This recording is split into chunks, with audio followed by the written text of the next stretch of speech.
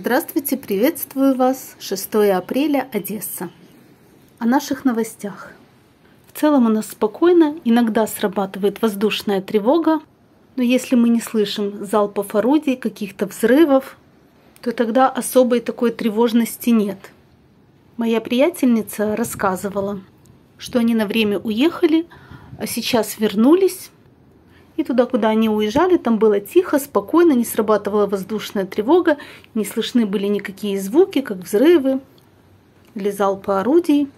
И когда они вернулись и окунулись в нашу сегодняшнюю атмосферу, им пришлось привыкать и адаптироваться заново.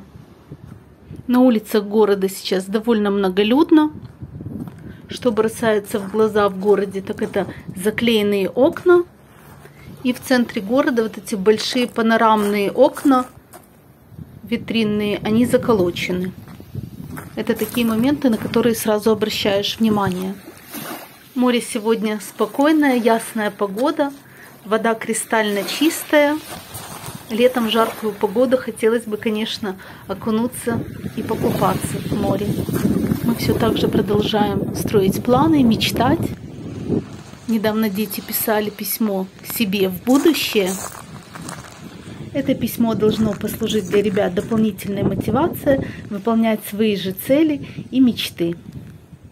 На первых минутах ребятам было сложно написать и три пункта, но каждый еще раз подумал, и в итоге получилось от 5 до 15 пунктов. Будет очень интересно для них через пару лет открыть это письмо и увидеть результаты. Кто-то написал открыть письмо через год, кто-то через пять лет.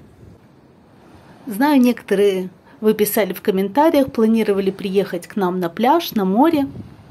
На данный момент смотрим, как развиваются события. Мечтаем о хорошем теплом лете, но планировать сейчас довольно сложно. Передаю вам одесский морской соленый привет – Можете написать в комментариях что-то себе в будущее, какое-либо пожелание.